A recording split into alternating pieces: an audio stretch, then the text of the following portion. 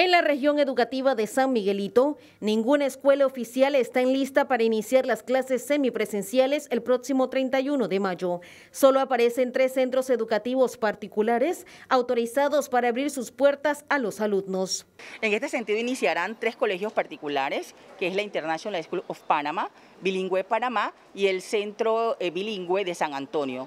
Las escuelas oficiales, si bien es cierto que han dado tutorías, se están preparando para ese retorno gradual, pero en este momento solo tres particulares.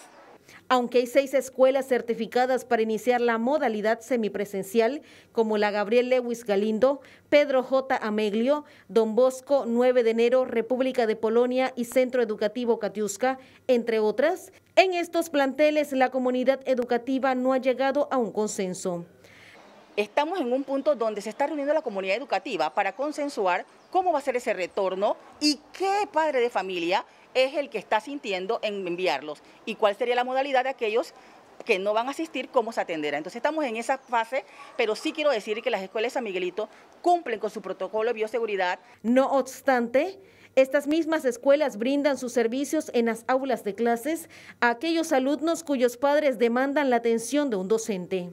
Uno de los centros educativos que mantiene dando sus clases por tutorías a sus estudiantes es el Gabriel Lewis Galindo, donde los estudiantes mantienen ese contacto tres veces a la semana con su docente.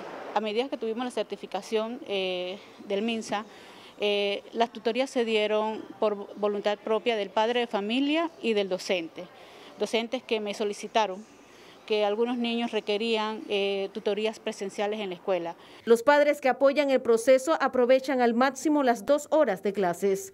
Bueno, por ahora mismo el niño está, nosotros también beneficiamos bastante y le doy gracias a la, a la maestra de aquí que siempre nos está apoyando sobre el estudio a los niños para que siga adelante los niños, que no quede este año. Nosotros también preocupamos también para que el niño no se quede.